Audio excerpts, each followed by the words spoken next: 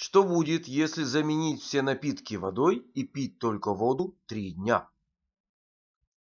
Что будет, если не есть три дня и пить только воду? Здравствуйте! Приветствую вас на видеоканале Доктор Скачко.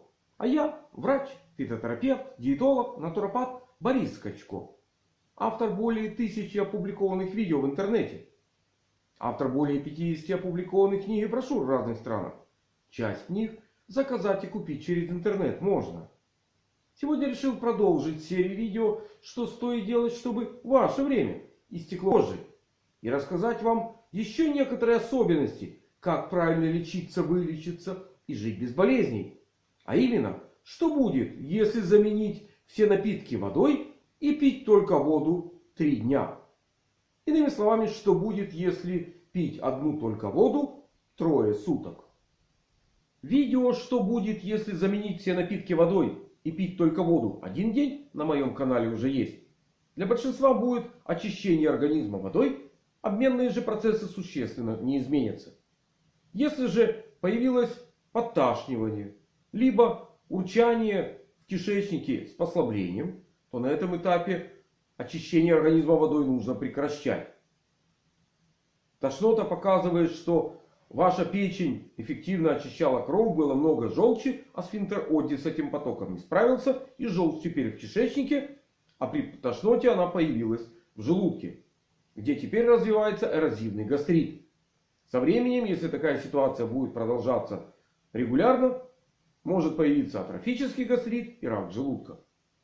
Более благоприятно, если желчь пошла по кишечнику, да урчание, да послабление, да вы видите, вы считаете, что организм лучше очистился. На самом деле токсины могут легко и просто из кишечника всасываться в кровь и в меньшем количестве покидают ваш организм. А вам потом нужно будет восстановить объем желчи. Иными словами, разрушаются эритроциты.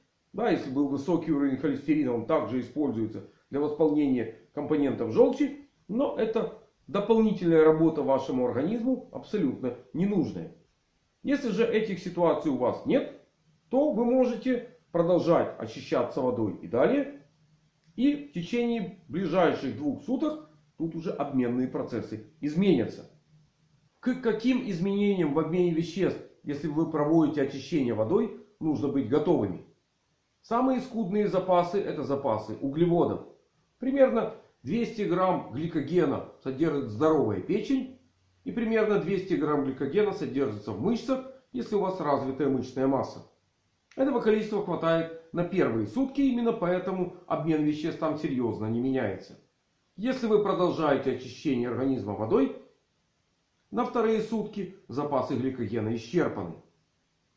И в крови может снижаться уровень сахара. У вас может появляться не просто голод, а даже волчий голод. Это говорит о критических цифрах сахара в крови.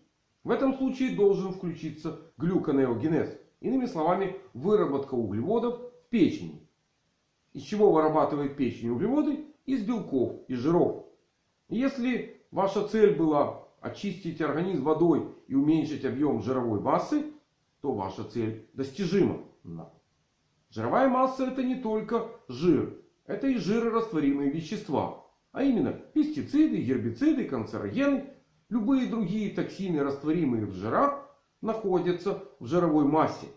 И вместе с переработкой жиров в углеводы ваша печень должна будет обезвреживать теперь эти токсины и в составе желчи накапливать как минимум в желчевыделительной системе.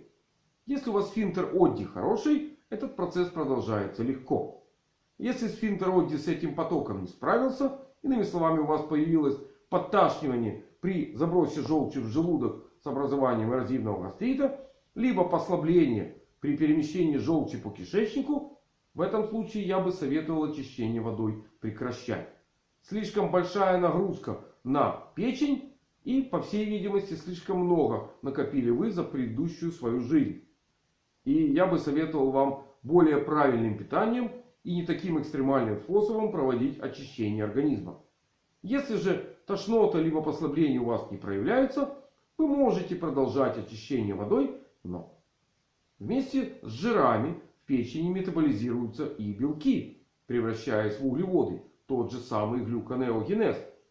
И для того, чтобы сохранить мышечную массу, вернее, чтобы сохранить депо белка, а это мышечная масса и клетки иммунной системы, вы не можете поговорить, договориться с бактериями, вирусами, чтобы они во время очищения водой не так активно размножались. Но вы можете снизить уровень двигательной активности. Чем выше у вас будет уровень двигательной активности на фоне, когда вы проводите очищение организма водой, у вас будет уменьшаться резко мышечная масса. После нагрузки нужно белковое питание, чтобы массу поддерживать мышечную, либо наращивать. Если же у вас питание отсутствует, то те мышечные группы, которые будут нагружены, там белок расходуется и откуда возьмется дополнительный белок. Разве что из клеток иммунной системы. Иными словами, чем активнее образ жизни вы ведете на очищение водой, тем быстрее у вас уменьшится мышечная масса и слабее будет ваша иммунная система. В этом случае я бы советовал просто правильно проводить коррекцию своего образа жизни. Также я бы советовал уменьшить и уровень интеллектуальной активности. Мозг работает точно так же на белках, потребляя примерно 20% крови. И если кровь у вас теперь не самая насыщенная полезными веществами, а обломками разрушенных старых клеток, которые накапливали за свою жизнь, ну, примерно то же самое, что жировая масса, то здесь ваш мозг попадает ну, на уникальную диету. И нарушить его работоспособность очень легко. Минимально снизится просто активность.